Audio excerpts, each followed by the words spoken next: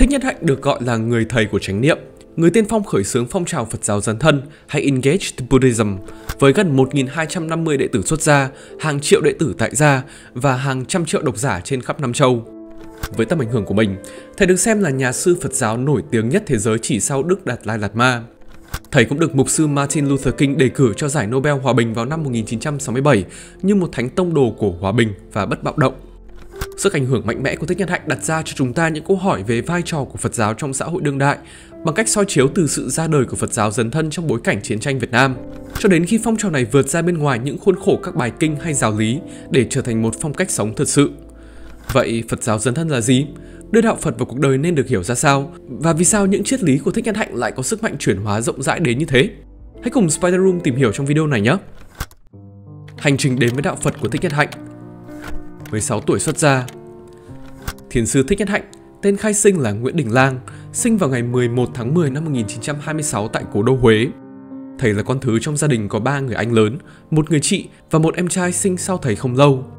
Trong nhiều bài pháp thoại sau này, thầy thường nhớ lại một khoảnh khắc vô cùng quan trọng, có lẽ vào năm thầy lên 9 tuổi, khi tình cờ nhìn thấy hình bụt trên bìa của một tạp chí Phật giáo mà anh Nho, anh trai của thầy mang về.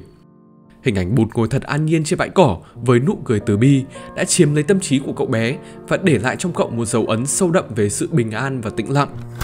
Đến năm Thích Nhân Hạnh khoảng 11 tuổi và một buổi tối sau khi ăn cơm xong, thầy cùng các anh trai và hai người bạn ngồi chơi, trò chuyện với nhau về ước muốn mình sẽ làm gì khi lớn lên. Có người muốn làm bác sĩ, có người muốn làm luật sư. Anh Nho của thầy là người đầu tiên trong nhóm muốn trở thành một người tu hành. Ban đầu, ý tưởng đi tu thật là mới mẻ với những người còn lại trong nhóm, nhưng sau một hồi nói chuyện với nhau thì cả nhóm đều đồng ý là sẽ đi tu hết. Sau này, khi kể lại kỷ niệm trên, thầy đã nói rằng trong buổi nói chuyện đó, có một ước muốn đi lên trong thầy rất rõ ràng. Thầy biết tận sâu trong lòng mình, thầy muốn làm một người tu hành. Năm 1942, lúc 16 tuổi, Thích Nhân Hạnh đã xuất gia tại chùa Từ Hiếu với pháp tự là Phùng Xuân, có nghĩa là đi gặp mùa xuân. Từ lúc ở chùa Từ Hiếu, thầy đã được dạy phải hoàn toàn có mặt và chú tâm vào công việc, từ những nhiệm vụ hàng ngày như đốn củi, cánh nước giếng, quét sân chùa, làm vườn, chăn bò, đến giúp gặt, đập và xay lúa. Nghiên cứu về đạo Phật để thích ứng với thời đại trong số những kinh sách mà thầy đọc ở chùa Từ Hiếu, những bài viết của thiền sư Mật Thể và của nhà văn Nguyễn Trọng Thuật đã gây cảm hứng rất lớn cho thầy về việc đạo Phật có thể đem lại một mùa xuân mới cho đất nước, mở một con đường thoát khỏi hoài nghi, chán nản và bê tha trụy lạc. Đến năm 1947, trong thời gian cuộc chiến tranh Đông Dương lần thứ nhất diễn ra, ý tưởng về đạo Phật như một giải pháp cho tinh thần hòa bình, bất bạo động càng thêm được củng cố trong thầy. Ý tưởng này phần nào bị ảnh hưởng bởi những nội dung trên tạp chí Phật giáo cấp tiến, tờ Tiến Hóa. Tờ báo khai thác ý tưởng về một đạo bụt không chỉ chú trọng đến việc chuyển hóa tâm thức, mà còn chuyển hóa môi trường và các điều kiện xã hội trên một bình diện rộng lớn hơn, bao gồm những nguyên nhân kinh tế, chính trị sâu xa đưa đến nghèo đói, áp bức và chiến tranh. Báo Tiến Hóa đăng các bài viết nói về sự quan trọng của việc nghiên cứu khoa học và kinh tế để hiểu gốc rễ thật sự của khổ đau, chứ không chỉ tụng niệm và cầu nguyện. Cũng có những nhận định rằng lý tưởng về một đạo Phật đổi mới của Thích Nhân Hạnh bị ảnh hưởng bởi quan điểm nhà cải cách Phật giáo Trung Quốc Thái Hư về Phật giáo nhân sinh vốn đã được dịch và phổ biến ở Việt Nam vào những năm 1930. Điểm cốt tủy của Phật giáo nhân sinh là cách tân để thích ứng được với những thay đổi trong xã hội bằng cách khuyến khích các chương trình tái thiết thần học Phật giáo theo đường hướng của triết học tân thời và dùng giáo pháp của Đức Phật để cải thiện xã hội. Với mong muốn có cái nhìn sâu sắc hơn về Phật giáo, vào năm 1948, Thích Nhật Hạnh cùng bạn quyết tâm đến Sài Gòn tu học.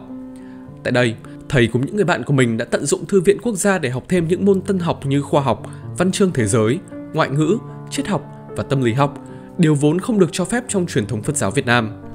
Sau này thầy có chia sẻ rằng, chúng tôi tin rằng những môn học này có thể giúp chúng tôi làm cho sự thực tập đạo Phật gần gũi với đời sống.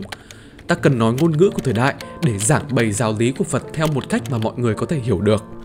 Đến mùa xuân năm 1950, cuốn sách đầu tiên của thầy về Phật học có tên là Đông Phương Luận Lý Học đã được ấn hành quyển sách bàn thảo về luận lý học Đông phương trong ánh sáng của triết học phương Tây theo Aristotle, Hegel, Marx và Engel. Sau đấy không lâu, vào năm 1955, trước chính quyền Ngô Đình Diệm ở miền Nam củng cố đạo cơ đốc giáo và đàn áp Phật giáo, ông Vũ Ngọc Các, chủ bút của Nhật báo Dân Chủ, một tờ báo trung lập, đã mời Thích Nhất Hạnh viết một loạt 10 bài để chứng minh rằng Phật giáo không hề bất cập hay lỗi thời. Đó cũng là khi thầy có một cái nhìn rõ ràng hơn về đạo Phật dấn thân, Engage Buddhism, còn gọi là đạo bụt nhập thế, đạo bụt ứng dụng. Theo đó, đạo Phật dấn thân là thực hành có thể được ứng dụng trong mọi khía cạnh của cuộc sống hiện đại, kể cả giữa những bất ổn của xã hội hiện hành. Tư tưởng này được thầy chứng thực rõ ràng hơn trong khoảng thời gian du học tại phương Tây. Năm 1961, Thích Nhất Hạnh được chương trình Fulbright Fellowship cấp học bổng sang Mỹ học ngành tôn giáo tại trường đại học Princeton từ năm 1961 đến năm 1962. Sau đó, từ năm 1962 đến năm 1963, thầy ở lại Hoa Kỳ tiếp tục công việc nghiên cứu tại chủng viện thần học Union Theological Seminary trực thuộc Đại học Columbia. Trong lá thư làng Mai số 25, thầy đã viết Chính năm 1962 tại trường đại học Princeton nơi tôi cư trú, tôi bắt đầu có những cái thấy rất sâu sắc, hoa trái của sự thực tập. Tôi có thì giờ rất nhiều để đi thiền hành, để làm chín những thiền quán chưa được chín lúc đó. Cụ thể, hoa trái của tuệ giác được thầy thu hoạch trong thời gian này chính là cuốn sách Bông hoa cải áo, đem đến những chỉ dẫn để người đọc có thể thật sự hiện diện, có mắt cùng mẹ và cảm nhận sự mầu nhiệm của mẹ trong giây phút hiện tại. Thích Nhật Hạnh chia sẻ rằng để an lạc trong giây phút hiện tại, ta sẽ cần năng lượng từ chánh niệm. Chữ niệm viết theo chữ Hán hay lắm, phía trên phải có chữ kim, có nghĩa là bây giờ, phía dưới có chữ tâm, có nghĩa là tâm của mình. Tâm trở về giây phút hiện tại là chánh niệm và chính năng lượng chánh niệm đó giúp ta trở về với giây phút hiện tại để thật sự có mặt. Định nghĩa này về chánh niệm đã trở thành cốt lõi cho phong trào Phật giáo dấn thân mà Thích Nhất Hạnh khởi xướng trên toàn cầu. Hành trình nghiên cứu về Phật giáo trong bối cảnh xã hội đương thời này cũng gợi mở cho thầy về vai trò của Phật giáo trong cuộc chiến giành lại hòa bình cho Việt Nam. Phát động phong trào hòa bình cho Việt Nam Từ khuôn khổ quốc gia vào năm 1963, sự đàn áp Phật giáo của chính quyền Ngô Đình Diệm càng trở nên nghiêm trọng thậm chí dẫn đến việc các tu sĩ Phật giáo tự thiêu để phản đối chính sách đàn áp này. Lúc này, khi vẫn đang học tập tại Mỹ, Thích Nhất Hạnh đã trở thành phát ngôn viên tích cực của phong trào Phật giáo hòa bình diễn ra ở Việt Nam. Thầy đã có nhiều buổi diễn thuyết và trả lời phỏng vấn của giới truyền thông, cũng như trình lên Liên Hợp Quốc một báo cáo về hành động vi phạm nhân quyền, đàn áp Phật giáo của Tổng thống Ngô Đình Diệm. Đồng thời, thầy cùng với các cộng sự cũng thành lập nhà xuất bản Lá Bối để nói lên tiếng nói của một đạo bụt mới, khởi xướng một con đường chấm dứt bạo động Chúng tôi sử dụng văn hóa và nghệ thuật như một vũ khí để chống lại sự đàn áp. Thầy giải thích, sáng tác của các cây bút phản chiến, các nhạc sĩ, nhà thơ, họa sĩ, dù là bất hợp pháp, đều được phát hành rộng rãi. Các bản nhạc phản chiến được hát trên đường phố và trong lớp học, và văn học phản chiến trở thành loại sách được bán nhiều nhất ở Việt Nam, thậm chí còn lọt vào các đơn vị quân đội. Đến năm 1965, lo ngại quân Cộng sản chiếm ưu thế, Tổng thống Hoa Kỳ Lyndon B. Johnson đã gửi một đội quân viễn trinh Mỹ đầu tiên đến Việt Nam. Lúc này, thầy và các nhà tri thức hàng đầu ở Việt Nam nhận ra rằng gốc rễ của cuộc chiến thật sự nằm ở Tây Phương. Vì vậy, sự yểm trợ của các nhà lãnh đạo tâm linh và nhân quyền nổi tiếng ở Tây Phương là rất cần thiết để giúp công luận có một cái nhìn khác về cuộc chiến Việt Nam. Vì lý do đó mà thầy đã viết thư cho mục sư Martin Luther King Jr. vào tháng 6 năm 1965, giải thích về lòng từ bi ẩn chứa trong hành động tự thiêu của các tu sĩ Phật giáo cho hòa bình. Đến phạm vi toàn cầu, Mùa xuân năm 1966, tiến sĩ George Cahin của trường đại học Cornell mời thầy sang Hoa Kỳ để giảng dạy và chia sẻ về tình trạng của Việt Nam tại khoa chính trị học về Đông Nam Á của trường. Sau đó, Alfred Hassler, thư ký điều hành của Hội Thân hữu Hòa giải, Fellowship of Reconciliation, gọi tắt là FOR, một tổ chức liên tôn về hòa bình và công bằng xã hội nổi tiếng ở Hoa Kỳ lúc bấy giờ. Tổ chức cho thầy một chuyến du thuyết tại các trường đại học và nhà thờ khắp Hoa Kỳ, châu Âu, châu Á và châu Úc để kêu gọi hòa bình.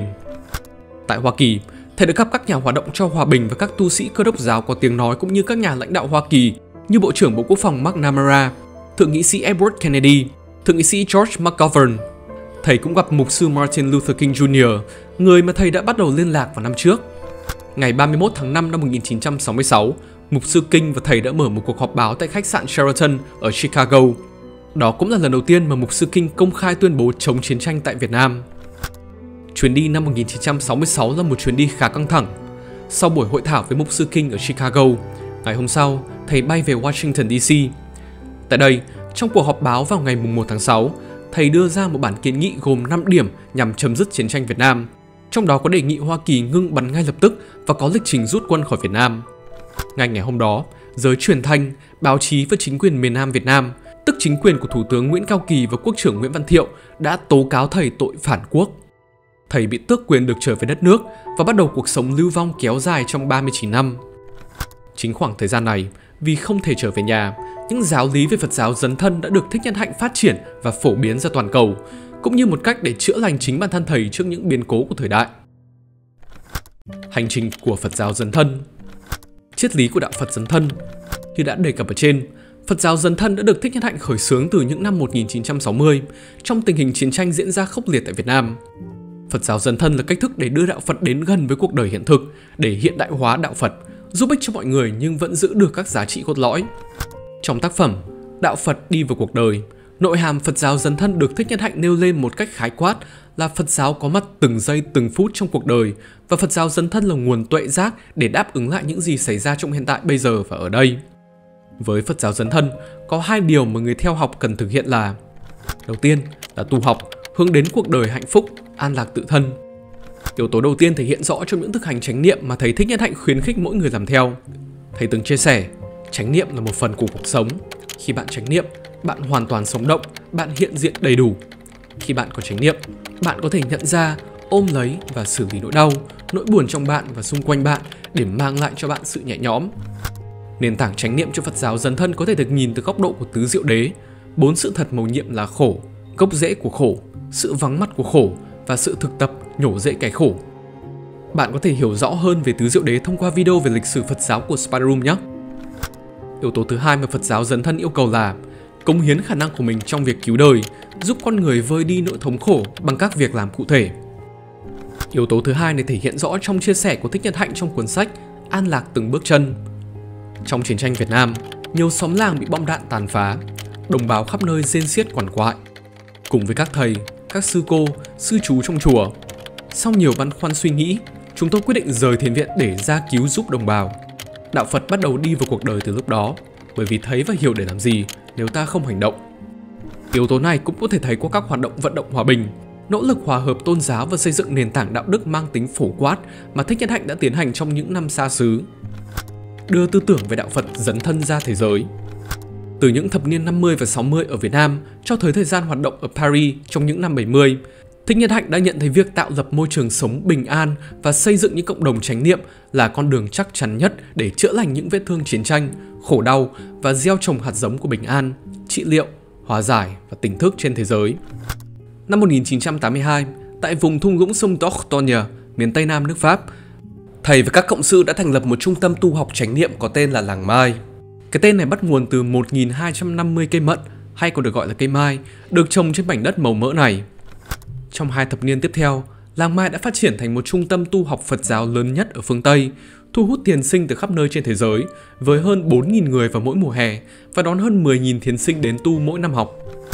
Tại Làng Mai, các thiền sinh trước hết sẽ được dạy về cách hít thở, hành thiền, chánh niệm, các phương pháp để lấy ra những căng thẳng trong thân, trong tâm, tập nhận diện và ôm ấp những sợ hãi, đau buồn, lo lắng của mình.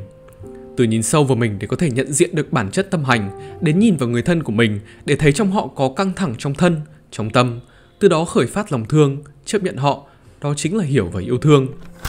Tư tưởng của thầy Thích Nhất Hạnh về chánh niệm trong từng bước đi, trong cách ăn uống, cũng cho thấy cách mỗi người có thể sống chậm rãi trong từng khoảnh khắc và làm việc với sự thiếu kiên nhẫn, sự bồn chồn hay bất mãn không ngừng của bản thân.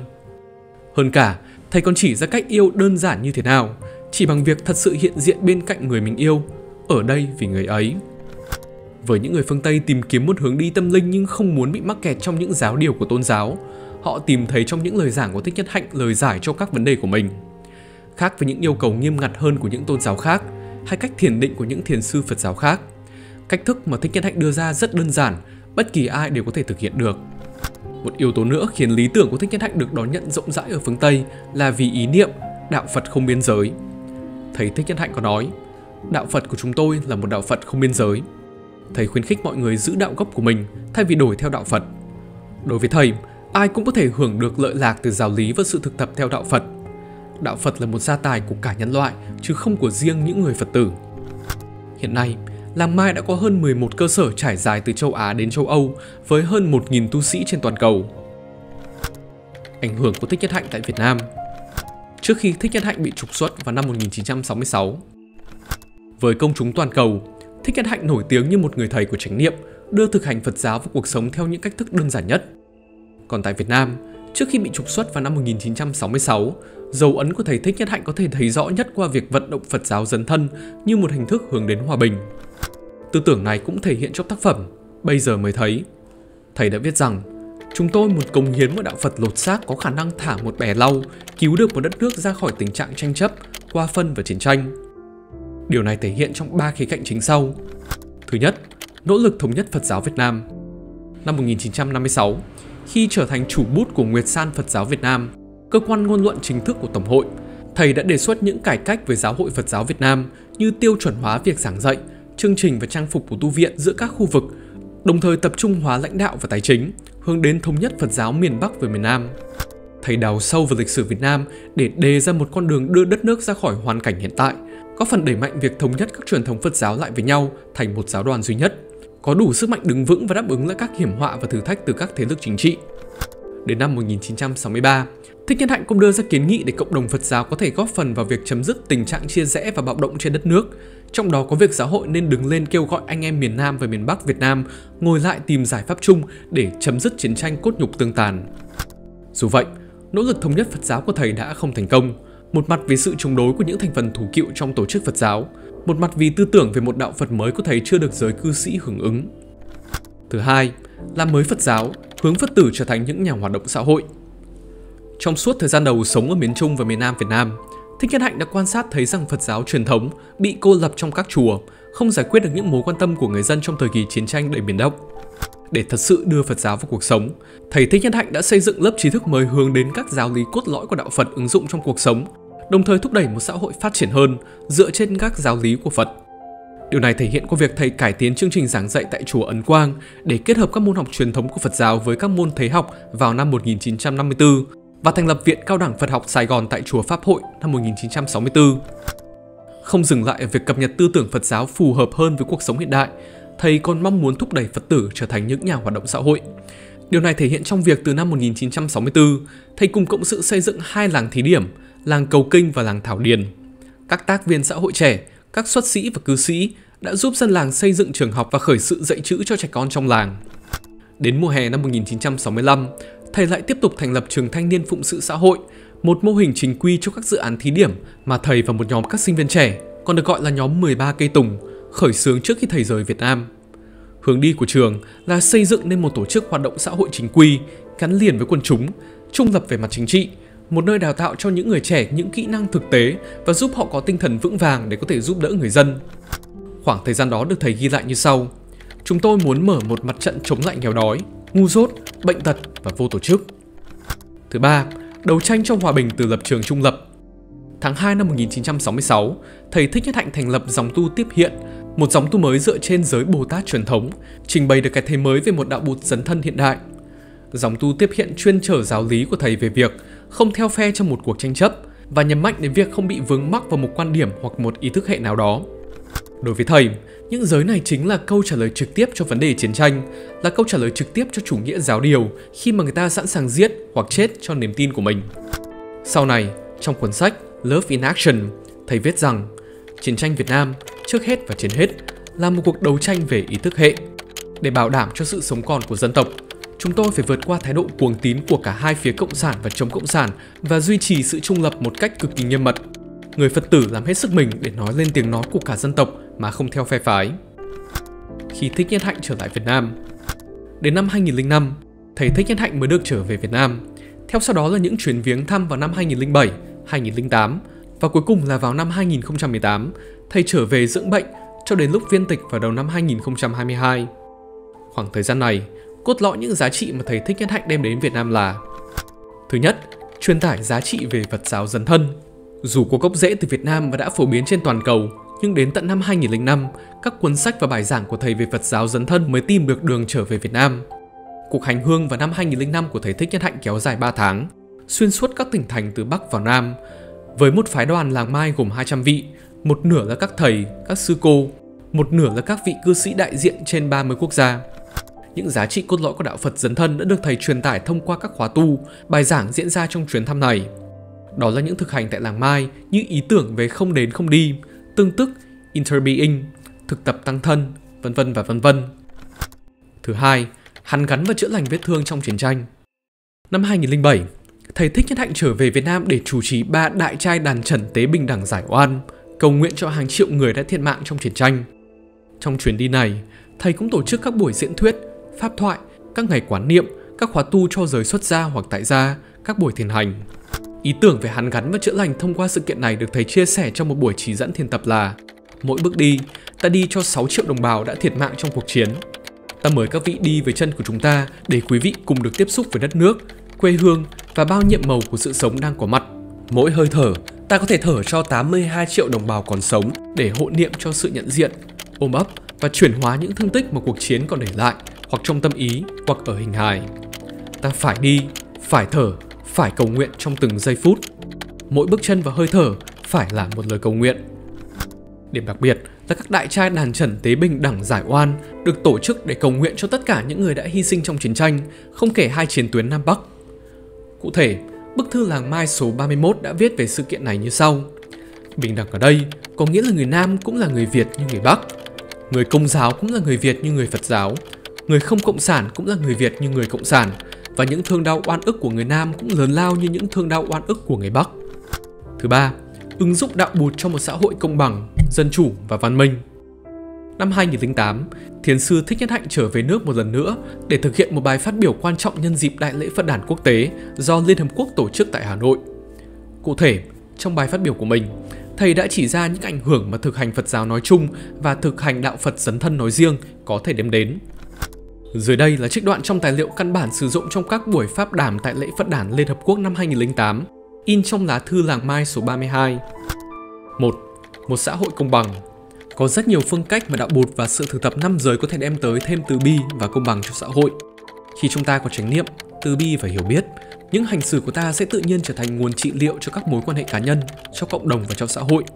Chúng ta có ý thức trước những tình trạng bất công như kỳ thị giới tính, coi thường người phụ nữ, đàn áp thiểu số, lạm dụng trẻ em và người nghèo.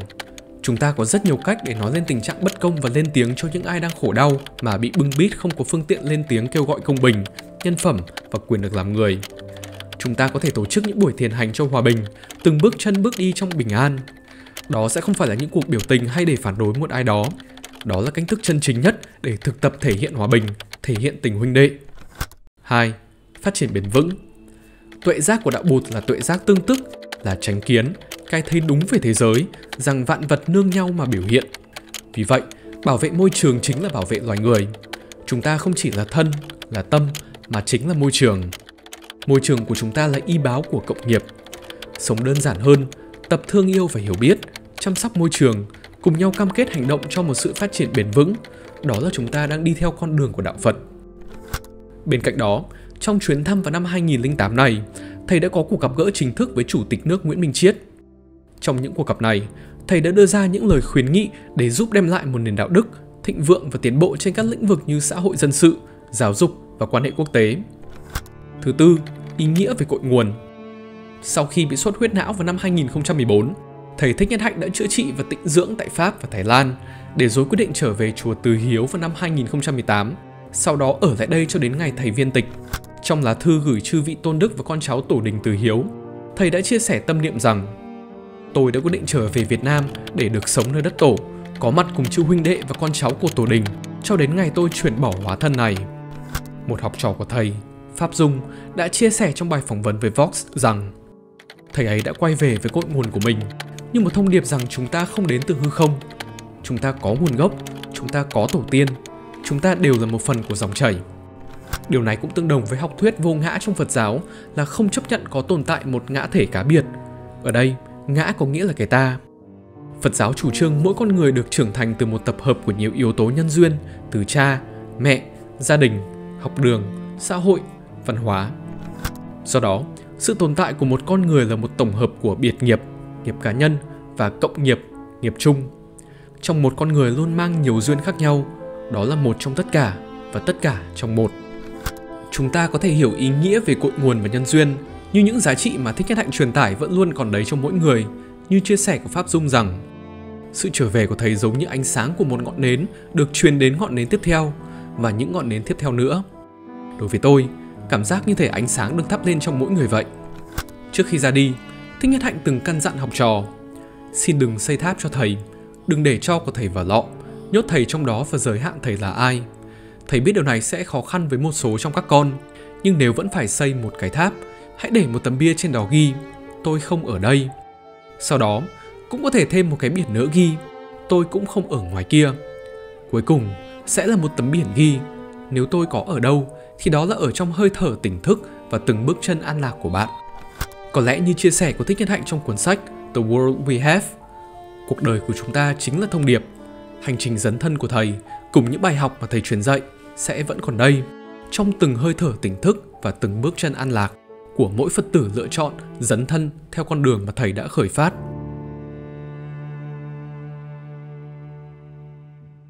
Sau khi xem xong video, bạn nghĩ sao về hành trình của thầy Thích Nhất Hạnh? Bạn có thực hành những giáo lý của Phật giáo dấn thân trong đời sống không?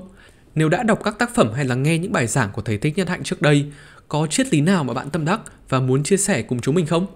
Hay có những ý tưởng nào mà bạn thấy không thuyết phục? Bình luận để chúng mình biết nhé. Còn bây giờ thì cảm ơn vì đã dành thời gian xem hết video này. Hẹn gặp bạn tại những video tiếp theo.